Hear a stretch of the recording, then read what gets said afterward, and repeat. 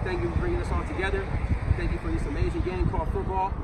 I pray that you just continue to cover us with the blood that you lost for us, Lord, and continue to bless us coaches and, and players to make wise decisions.